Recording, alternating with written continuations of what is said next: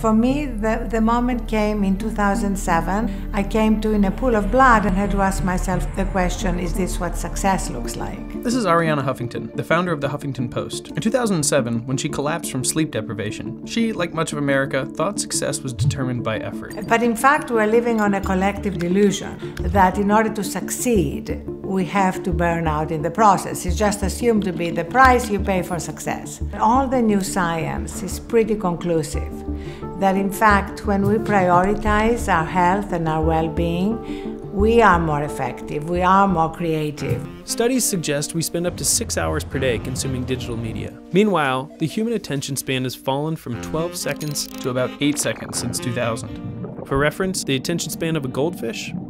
9 seconds. We all have a lot of creativity, a lot of wisdom in us, but unfortunately, with how invasive technology has become, it's become harder to access that wisdom and that creativity.